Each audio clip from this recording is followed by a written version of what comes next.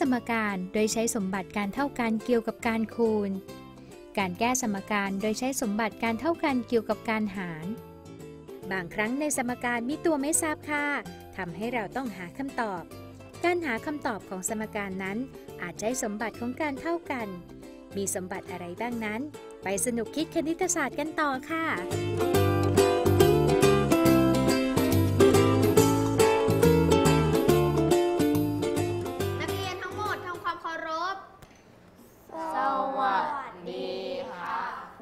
ดีค่ะ นักเรียนคราวที่แล้วเราเรียนเรื่องสมบัติการเท่ากันเกี่ยวกับการบวกบวกใช่ไหมคะ และอีกเรื่องหนึ่งค่ะ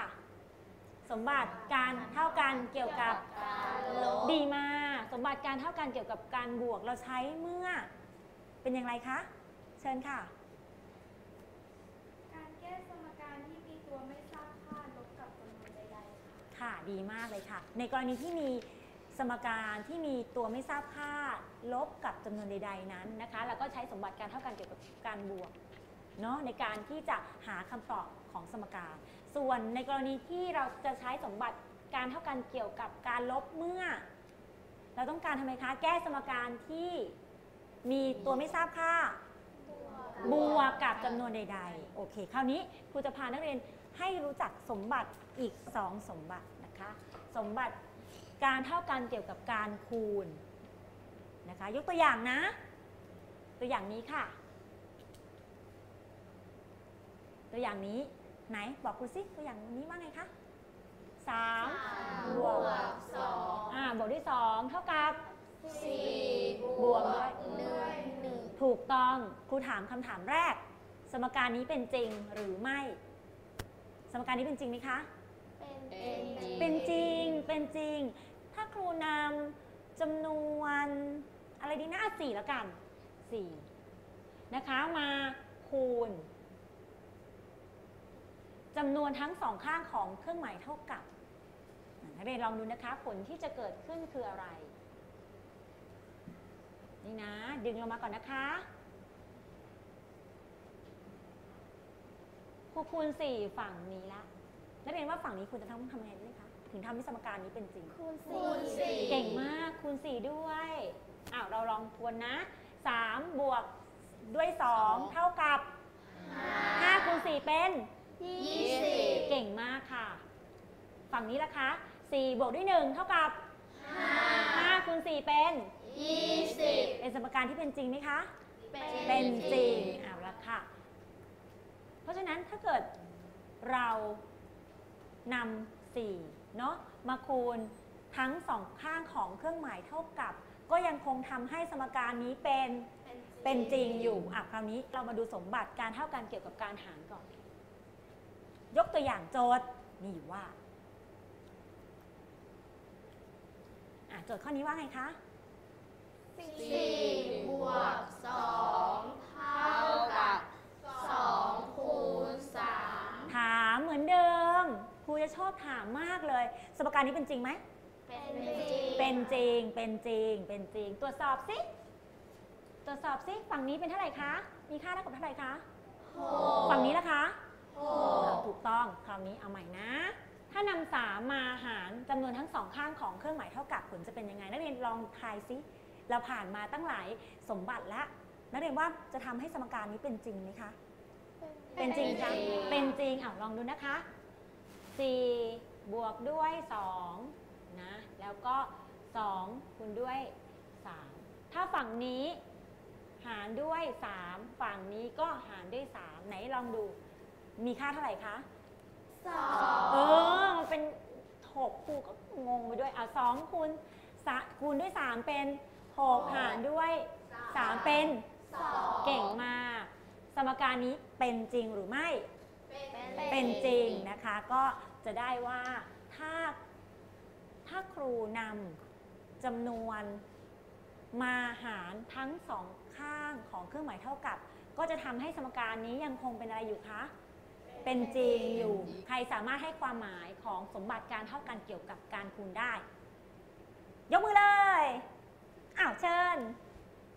สามบวกสองเท่ากับห้าค่ะสี่บวกหนึ่งเท่ากับห้าจ้ะคือสองจำนวนนี้มัน เท่ากันใช่อะต้องเป็นจริงค่ะแล้วค่ะก็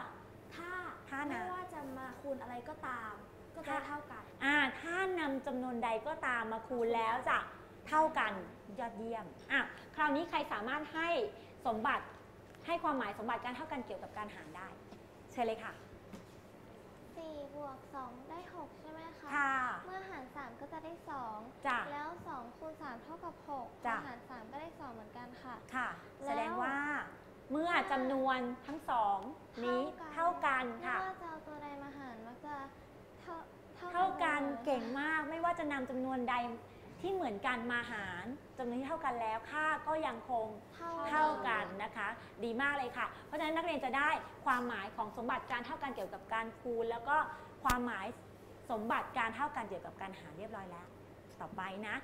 จงหาจำนวนที่แทนที่ในช่องสี่เหลี่ยมมีโจทย์ว่า มีโจทย์ว่า1 2และ3พร้อมไหมคะ พร้อมไหมคะ พร้อมไหมคะ อ้าว กลุ่มหนึ่งเอาเลยนะ กลุ่มสองเข้ากลุ่มด้วยค่ะ หันหลังไปให้เพื่อนด้วย กลุ่มสามเชิญค่ะ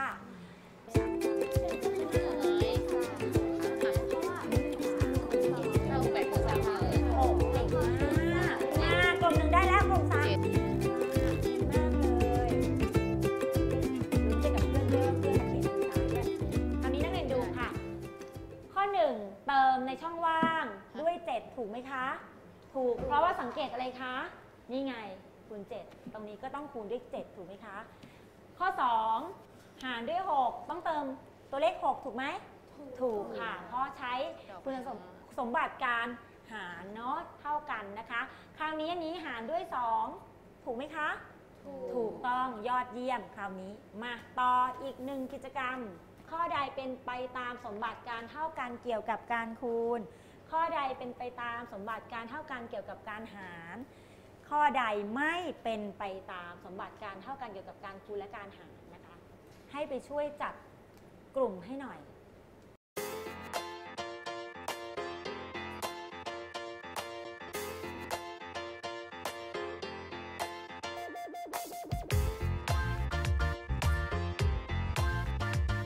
ถูกต้องเก่งมาก อัน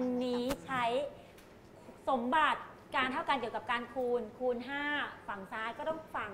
ขวาด้วย อันข้อนี้ใช้สมบัติการเท่ากันเกี่ยวกับการหารหารด้วย 5 ฝั่งซ้ายก็ต้องหารฝั่งขวาด้วย แต่ข้อนี้ไม่ใช่เพราะ เพราะเพราะเพราะเพราะอันแรกหารสี่ถูกต้องอีกฝั่งหนึ่งหารหกค่ะเป็นไปได้ไหมคะ ไม่ได้ ข้อนี้แน่นอนทำให้สมการเป็นเป็นเทเป็นเท็ จยอดเยี่ยมยอดเยี่ยมก่อน หาคำตอบของสมการนั้น ทบทวนทบทวน การคูณด้วยหนึ่งค่าที่แล้วบวกด้วยอะไรนะศูนย์เก่งมากคราวนี้การคูณด้วยหนึ่งยกตัวอย่างใครจะยกตัวอย่างให้ครูได้บ้างนะอ้าวเชิญครับ12คูณ1ได้ 12 ครับ 12คูณ1นะคะ เท่ากับ 12 นะคะ มีอีกไหมคะ เชิญค่ะ 25คูณ1เท่ากับ25 ค่ะ คูณ 1 นะคะ เท่ากับ 25 มีอีกไหมคะ 35คูณ1เท่ากับ35 35 คูณ 1 เท่ากับ 35 เขียนสรุปได้ยังไงดี อะ เชิญค่ะซาร่าจำนวนใดๆนะคะที่คูณด้วย1ค่ะ ไม่ว่าจะเป็นตัวเลขไหนนะคะ ย่อมได้ตัวเลขนั้นเท่าเดิมค่ะ ค่ะ เก่งมากจำนวนใดๆ ถ้าคูณด้วย 1 ก็จะได้จำนวนนั้นเท่าเดิม ถ้าครูให้กอไก่เป็นจำนวนใดๆเมื่อคูณด้วย 1 ก็จะได้จำนวนนั้นเหมือนเดิมดีมากค่ะอ้าวคราวนี้เราเอาลองมาแก้สมการดูบ้างนะคะ โจทย์มีอยู่ว่า แก้สมการกอไก่หารด้วย 2 เท่ากับ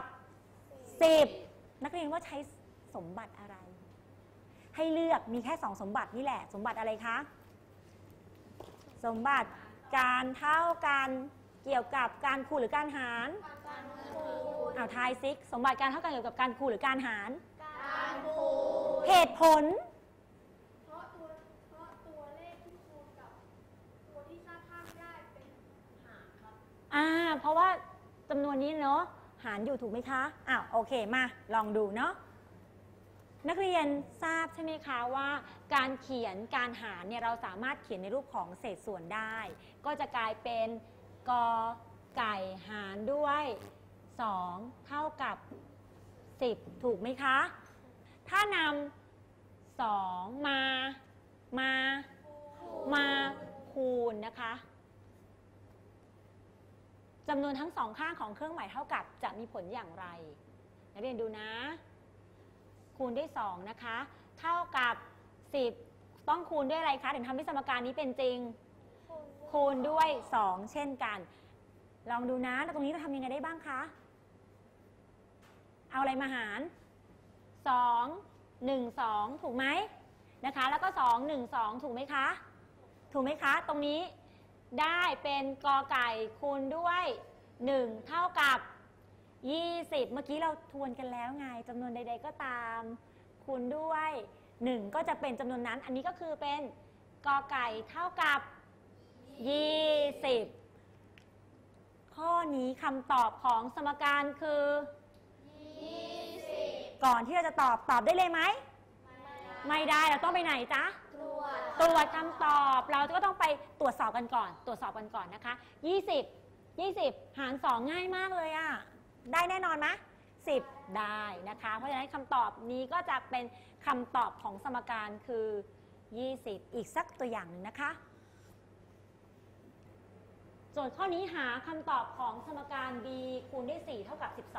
12 ภาษาข้างต้นข้างหน้าอาจจะแตกต่างกันแต่มันคือคำถามในเรื่องเดียวกันนะคะ b คูณด้วย 4 เท่ากับ 12 ใช้สมบัติอะไรในการแก้ สมการนี้ สมบัติใดดีอ่าการหารอ้าวเราลองดูเราลองดูนะจ๊ะ แสดงว่าเราต้องนำนำสี่มา เก่งมาก เลยค่ะ มาหารจำนวนทั้งสองข้างของเครื่องหมายเท่ากับ ก็กลายเป็น d คูณด้วย 4 นะคะ หาร 4 เท่ากับ 12 หารด้วย 4 ค่ะ 4 1 4 4 1 4 ตรงนี้ก็จะเหลือ b เท่ากับ 4 1 4 4 32 b เท่ากับ 3 ตอบได้ยัง ตอบได้ยัง ยังต้องตรวจสอบก่อน 3 b 3 3คูณ4เท่ากับ 12 เป็นคำตอบของสมการนี้ได้หรือยังคำตอบของสมการคือ 3 เก่งมาก ค่ะ เดี๋ยวครูจะยกตัวอย่างอีกหนึ่งตัวอย่างนะคะ นักเรียนสังเกตนะคะ ภาษาด้านหน้ามันอาจจะต่างกันแต่ก็ เป็นคำถามเดียวกัน อันนี้เขียนว่าหาค่าของตัวแปรที่ทำให้สมการเป็นจริงนะคะ 48 เท่ากับ c หารด้วย2ละมา บอกเลยนำอะไรดี ถ้านำอะไรดี ถ้านำถ้านำสองเก่งมากมา มันหารอยู่ต้องนำมา คูณนะคะ คูณจำนวนทั้งสองข้างของเครื่องหมายเท่ากับ ก็จะกลายเป็น 48 เท่ากับ c เขียนใหม่เนาะ c หารด้วย 2 นะคะ ฝั่งนี้คูณด้วยอะไรคะ คูณ 2 ฝั่งนี้ก็ต้องคูณด้วย 2 ด้วย 48 คูณ 2 เป็น เท่าไหร่คะ 96 เก่งมากเลย อันนี้ 2 1 2 เนอะถูกไหมคะ 2 1 2 นะคะ 4 คูณ 1 ก็จะได้ ได้เลยคะ ได้ 4 ก่อนตอบ ก่อนตอบเราต้องตรวจสอบก่อน ถูกไหม 96 หารด้วย 2 เท่ากับ 48 ใช่หรือไม่ ใช่ใช่ เพราะฉะนั้นคำตอบของสมการคือเท่าไหร่คะลูก 96 ยากไหม ยากไหม อ้าว เริ่มทำแบบฝึกทำกัน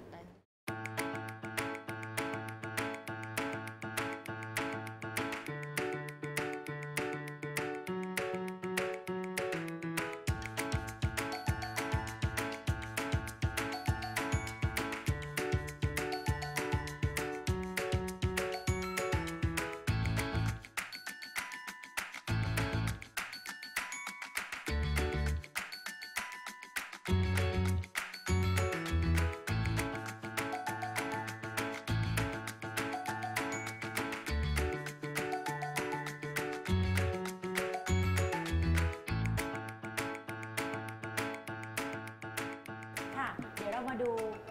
นะว่าเพื่อนๆเนี่ยทำถูกไหมนะคะ โจทย์ข้อนี้ 8คูณด้วย4เท่ากับ 16 กลุ่มนี้ทำยังไงเอ่ย ถ้านำ8มาหารทั้งสองข้างของเครื่องหมายเท่ากับ เพราะว่าคูณ 8 อยู่ใช่ไหม ก็นำมาหารถูกไหมคะ ถูกต้องค่ะ แล้วเราก็4คูณ 8 หารด้วย 8 นะ เท่ากับ 16 หาร 8 ถูกต้องเลยคำตอบ c เท่ากับ 2 ก่อนที่เราจะตอบเราต้องตรวจสอบก่อน ถูกไหมคะ 2 8คูณ2เท่ากับ 16 จริงหรือไม่ จริงนะคะ อย่าลืมใช้คำว่าคำตอบของสมการคือ 2 นะคะ ถ้าตอบ 2 อย่างเดียวเนี่ยครูอาจจะไม่ทราบว่ามันคืออะไรนะข้อ 2 ถ้านำ12 มาคูณทั้งสองข้างของเครื่องหมายเท่ากับทำไมนำ12 มาคูณ เพราะว่าข้างต้นเป็นหารด้วย 12 เก่งมากคำตอบของสมการคือ 576 ถูกต้องไหมคะ ถูกต้องค่ะ ข้อ3นะคะนำ5มาหารจำนวนทั้งสองข้างของเครื่องหมายเท่ากับ ถูกต้องแล้ว แต่เอ๊ะครูสงสัยนิดนึง กลุ่มนี้ กลุ่มนี้คือใครยกมือ กลุ่มนี้ยกมือ ด้านหน้าเขียนเป็นเศษส่วน ด้านหลังก็เป็นเครื่องหมายหาร แหม ก็ทำให้มันเหมือนกันไปเลยนะคะ นักเรียนจะเขียนหารก็ได้นะ แต่ว่าก็นิยมทำเป็นเศษส่วนซะนะคะ 515 95 45 คำตอบของสมการคือ 9 ใช่หรือไม่ตรวจสอบก่อน9คูณ5ได้ 45 ถูกต้องไหมคะ ยอดเยี่ยมเลยอะวันนี้เราลองมาสรุปนะวิธีการหาคำตอบของสมการ โดยใช้สมบัติการเท่ากันเกี่ยวกับการ การอะไรคะวันนี้การคูณและสมบัติการเท่ากันเกี่ยวกับการหารอ้าวในกรณีที่เราต้องการแก้สมการที่มีตัวไม่ทราบค่า คูณกับจำนวนใดๆอย่างตัวอย่างนี้กับตัวอย่างนี้ เราใช้สมบัติการเท่ากันเกี่ยวกับการ การเลยคะการหารนะคะ มาช่วยในการหาคำตอบของสมการถูกไหมคะ ในกรณีที่เราต้องการแก้สมการที่มีตัวไม่ทราบค่าหารกับจำนวนใด ๆ เราทำยังไงคะ เราใช้สมบัติการเท่ากันเกี่ยวกับการ การคูณนะคะมาช่วยในการหาคำตอบของสมการ วันนี้โอเคไหมคะนะคะ เราได้ครบทั้ง 4 สมบัติและสมบัติการเท่ากันเกี่ยวกับการบวกการสมบัติการเท่ากันเกี่ยวกับการลบสมบัติการเท่ากันเกี่ยวกับการคูณและสมบัติการเท่ากันเกี่ยวกับการหารโอเคนะ ไม่ว่าจะบวกฝั่งซ้ายก็ต้องบวกฝั่งขวา ลบฝั่งซ้ายก็ต้องลบฝั่ง คูณฝั่งซ้ายก็ต้องคูณฝั่งขวาอ่าอย่างหนึ่งหารฝั่งซ้ายก็ต้องหารฝั่งขวา ยอดเยี่ยมหัวหน้าเชิญครับ นักเรียนทั้งหมดทำความเคารพ ขอบคุณค่ะ เรียนเรื่องสมการค่ะ ก็พวกการแก้สมการ การบวก การลบ การคูณ การหารของจำนวนที่เป็นตัวแปรอะไรพวกเนี้ยค่ะ แล้วก็มี สมการแบบจริงแล้วก็สมการที่เป็นเท็จอะค่ะ สมมติว่า 3 บวก 2 ได้ 5 เท่ากับ 4 บวก 1 ได้ 5 ถ้าเอามาคูณกับ 5 ก็จะได้คำตอบเดียวกันค่ะ ก็คือ 25 ค่ะ ตอนแรกที่ก่อนที่หนูจะเรียนนะคะ หนูคิดว่ามันยากมากเลยค่ะ แต่พอได้เรียนกับคุณครูแล้วก็ง่ายมากเลยค่ะ เพราะคุณครูเขาสอนได้เข้าใจอะค่ะ ชอบครับ เพราะว่า คุณครูเขามีของมาประกอบด้วยครับ แล้วครูเขาไม่ให้นักเรียนอ่านเองมากไปหรือน้อยไปครับ เพราะว่าครูก็สอนดีละเอียดด้วยครับ ชอบเพราะว่าคณิตศาสตร์ค่ะ เป็นวิชาที่สนุกค่ะ แล้วก็ทำให้เราได้ความรู้ด้วยค่ะ แล้วก็สามารถใช้ในชีวิตชีวิตประจำวันได้ค่ะ เพื่อนๆทุกคนนะคะไม่ต้องกลัวนะคะ เพราะว่าคณิตศาสตร์นี่เป็นสิ่งที่สนุกสนานค่ะ แค่ได้ลองเรียนครั้งแรกนี่ก็ติดใจแล้วนะคะ ลองมาเรียนดูกันนะคะ